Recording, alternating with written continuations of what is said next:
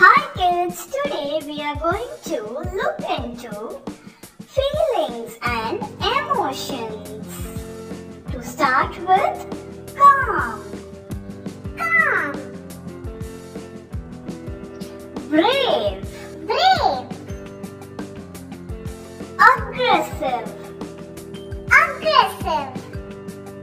Excited.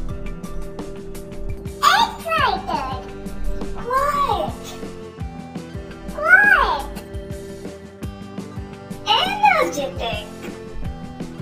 Energetic. Ashamed. Ashamed. Mm, jealous. Jealous. Mischievous.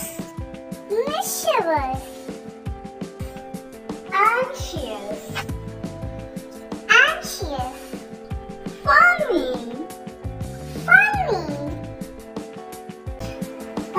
Sai